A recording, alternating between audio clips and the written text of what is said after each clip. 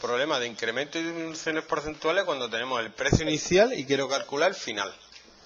O sea, si el principio vale 300 euros y te meten un IVA del 21%, ¿cuánto pagas? Pero es que te lo puedo poner al revés.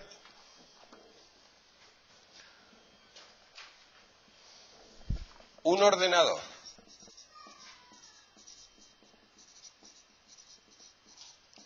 con un 21% de IVA vale 363 euros.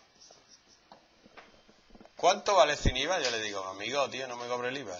Ilegal. Esto no se puede hacer. ¿Cuánto vale el ordenador sin IVA?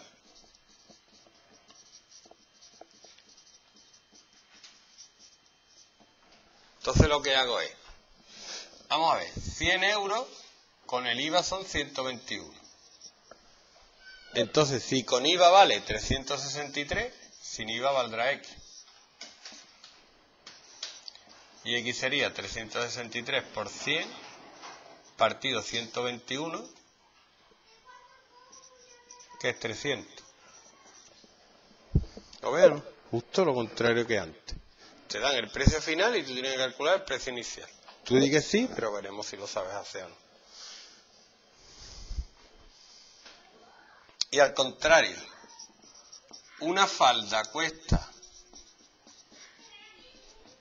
40 euros con una rebaja del 20%.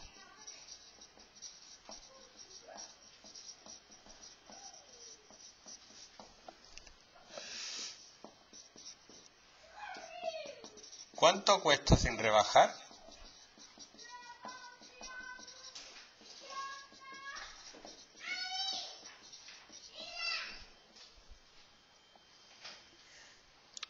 Entonces,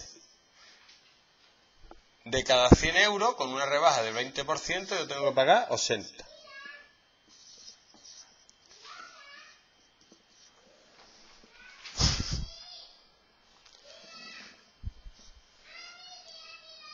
Entonces, si rebajar cuesta 40, ¿cuánto cuesta sin rebajar?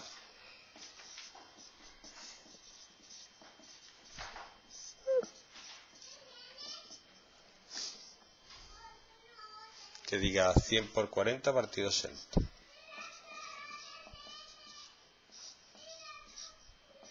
...50 euros. Yo espero que te hayas enterado. Yo voy a subir los vídeos y los voy a dejar por si los quieres ver.